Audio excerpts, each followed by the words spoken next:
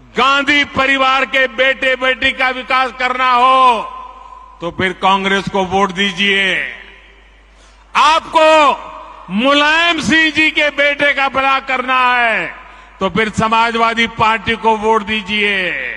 अगर आप लालू परिवार के बेटे बेटियों को उनका भला करना चाहते हो तो आरजेडी को वोट दीजिए। आपको शरद पवार जी की बेटी का भला करना हो तो आप एनसीपी को वोट दीजिए। आपको अब्दुल्ला परिवार के बेटे का भला करना हो तो आप नेशनल कॉन्फ्रेंस को वोट दीजिए। आपको करुणानिधि जी के बेटे बेटियों पोते पोतियों का भला करना हो तो डीएमके को वोट दीजिए।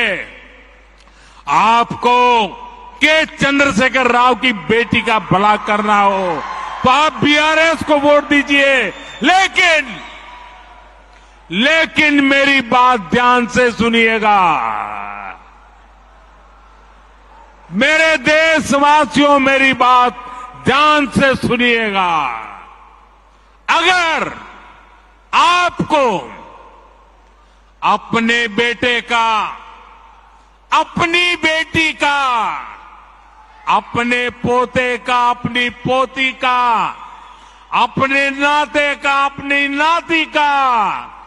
अगर आपको अपने परिवार के बच्चों का भला करना है तो आप वोट भाजपा को दीजिए।